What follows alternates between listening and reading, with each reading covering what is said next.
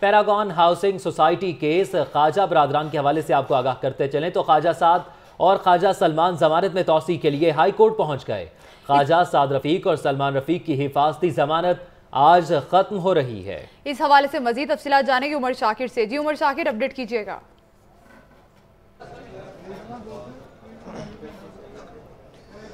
اجی، paragon society میں خواجہ برادران، خواجہ سعد رفیق اور خواجہ سلمان رفیق قبل از گرفتاری درخواست ضمانت کے لیے لاہور ہائی کورٹ میں پیش ہو چکے ہیں۔ اب سے کچھ دیر بعد لاہور ہائی کورٹ کے جسٹس علی باکر نشوی کی سربراہی میں دو رکنی بینچ دونوں خواجہ برادران کی قبل از گرفتاری درخواست ضمانت پر سماعت کرے گا۔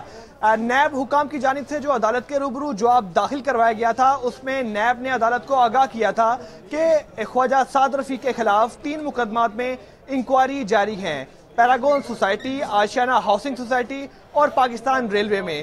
جبکہ پیراگون سوسائٹی میں خواجہ سعد رفیق کے وارنٹ گرفتاری جاری ہو چکے ہیں، جبکہ خواجہ سلمان رفیق صرف پیراگون سوسائٹی میں مطلوب ہیں اور دونوں بھائیوں کے پیراگون سوسائٹی میں وارنٹ گرفتاری جاری ہیں